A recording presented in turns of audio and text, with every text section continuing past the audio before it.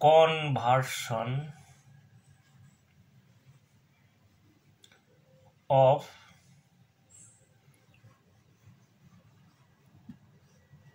units.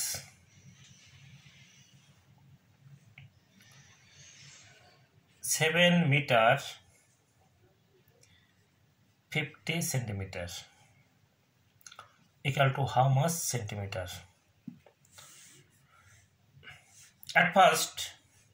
you remembered this one kilometer, hectometer, decameter, meter, decimeter, centimeter, millimeter. Now here is given 7 meter, that means this one. you will go centimeter, that means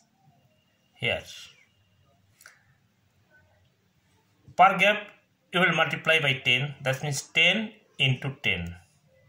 here is into 10 here is into 10 that means you will multiply by 100 now 7 meter 50 centimeters that means into 100 700 centimeters plus 50 centimeter that means 750 centimeter similarly suppose 2 hectometer 3 decimeter equal to how much decimeter here hectometer that means here 10 10 10 that means into 1000 that means 2000 decimeter